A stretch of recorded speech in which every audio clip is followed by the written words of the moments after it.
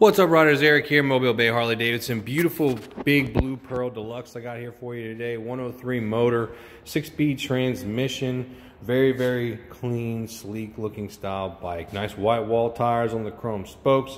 Has some engine guards already added to it right there for you.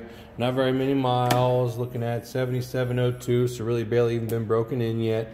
Does come with the uh, ABS brake system, so you have some of the better brakes on the market. And previous owner did add some nice Python mufflers for you right there. So between that and the engine guards and everything, you're looking at several hundred dollars of free accessories to take advantage of, so you don't have to add them. The nice thing to be able to do is just take advantage of easy stuff. Nice three headlights up here in the front.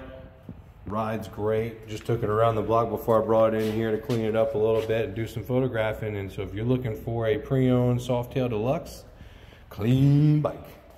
These bikes are great. They're kind of nostalgic. They have that older school Harley look and they really do ride well for Softails. So grab your helmet, get your endorsement and come on down here and take this sucker out for a ride.